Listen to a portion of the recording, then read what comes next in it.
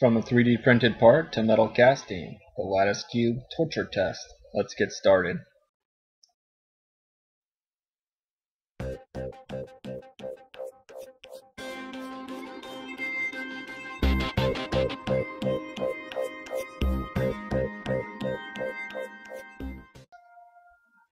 Hi guys, welcome to Project Tube. Uh, I wanted to try something a little more difficult after my last casting, so I went to Thingiverse and uh, picked out this customizable lattice cube and printed it out on my 3D printer. One of the nice things about the customizable lattice cube is that uh, the first time I printed out a lattice cube, I tried casting it and it was a complete failure. I couldn't get the metal to actually sink down into the lattice, and the reason was is the diameter of the lattice was so small, it just didn't really want to fill it without some kind of pressure, like a centrifugal uh, casting or a vacuum casting. So I, I used this customizable one and increased the di diameter of the lattice, which uh, made it easier to fill. I then went to a hot wire cutter, cut the main sprue. I erred on the side of a lot of vents. I did a total of four risers on it, one from the very bottom that goes up, and uh, three on each of the corners on the outside. In actuality, I probably should have done more, and that probably would have helped the fill, as you'll see later on in the video. Um, but all in all, it turned out fairly good. The next step after the all the sprues and the risers were done was to take the complete uh, mold and hot glue each of the risers and the main sprue onto my work surface right there. Uh, I just used hot glue and that keeps it down there and keeps it from floating up as you've seen in previous videos uh, where it floats up. This keeps it nice and tight on the bottom of the work surface and I don't have to screw around with it. Something to note when you're gluing your mold to the tabletop is to make sure it's glued really well. You don't want it coming off when you're shaking it and trying to uh, get the bubbles out. You also don't want a little gap or anything that the pl uh, plaster will fill and then you have to dig out to find the sprue. I ended up having that problem on this this mold for one of the risers and it wasn't a big deal. I could just dig it out and it took like, you know, a couple minutes, but just keep that in mind when you're doing that. Now the next step was to take a uh, carton that I, uh, just an old carton, and uh, tape it on around the, the mold, um, and then uh, fill it with uh, the, the plaster 50-50 uh, plaster of Paris and silica sand mix. Two things to keep in mind here. I made the plaster of Paris and sand mix really wet and soupy for this so that would get in all the crevices and stuff like that. And the other thing to note is just you know air not aerating it but jiggling it around and getting all those bubbles out. And you can see while I do this that bubbles rise to the surface. And that's really important so you don't get any bubbles in it.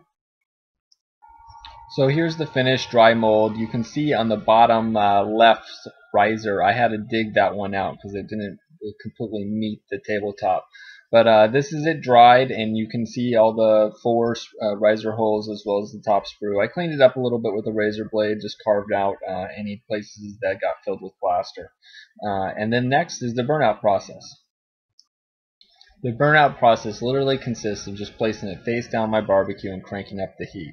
Here you can see it is after one hour and then again at two hours and you can see some flame coming out of the hole meaning there's still uh, combustibles in there meaning plastic PLA and then after three hours it's finally finished. No more smoke come out of it. No more flames.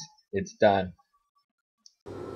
So now that the burnout process is complete it's time to start the forge Put the mold down in the bucket with the sand, pack sand around it. First put aluminum foil over the top so no sand gets down into the mold. That'll be pulled off later. And we're just about ready to pour. We just got to melt some metal.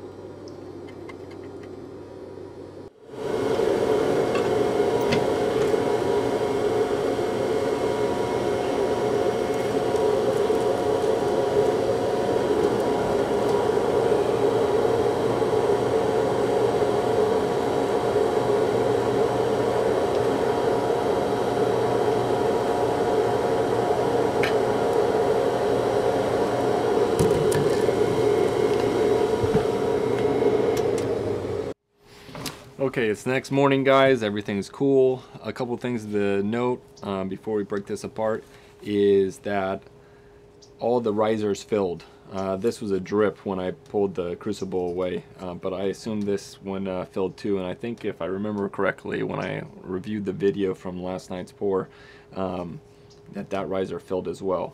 So I just wanted to note that that gives you a good indication of a good cast. So uh, let's crack this op uh, egg open and let's take a look.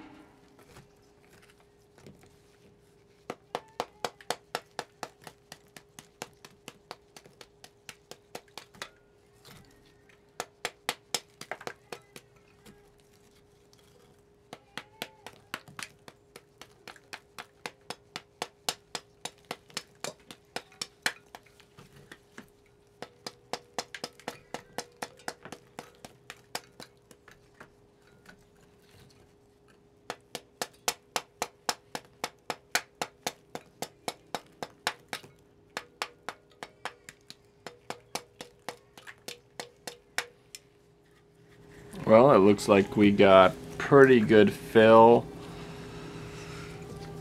Right here we didn't fill completely. I can tell already. Um, I'll get this cleaned off and we'll take a look and see how it turned out other than uh, that little area.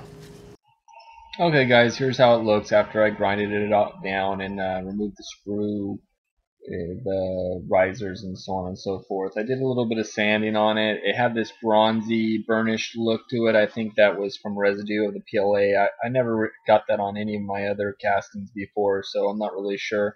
Maybe a little acid bath or something would take it off, or some real intricate sanding obviously would take care of it.